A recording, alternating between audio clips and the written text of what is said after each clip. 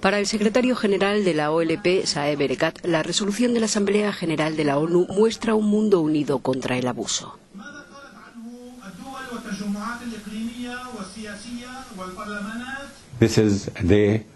Hoy es un día para la paz, es un día en el que la comunidad internacional ha dicho que la solución de dos estados, siguiendo las líneas de 1967, es factible. El Estado de Palestina, con Jerusalén este como capital, conviviendo en paz con el Estado de Israel, con las líneas de 1967.